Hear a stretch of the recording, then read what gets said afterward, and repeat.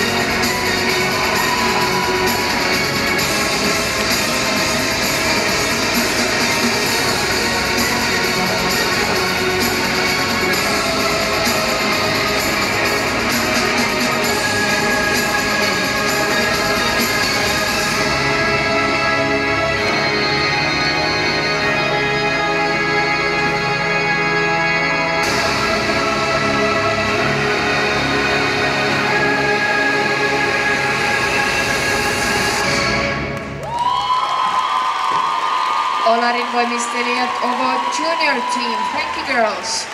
The score for Ekaterina Kapitonova is 13.85. And now, from the United States of America, Ekaterina Kapitonova.